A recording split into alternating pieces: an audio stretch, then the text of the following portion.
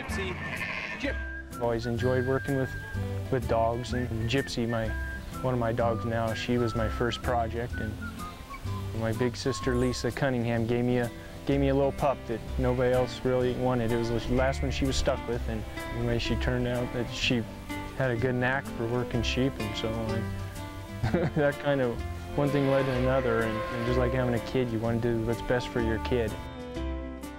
Oh yeah, it's just it's amazing what Border Collie in particular can do. It's just an awful good hand to have around.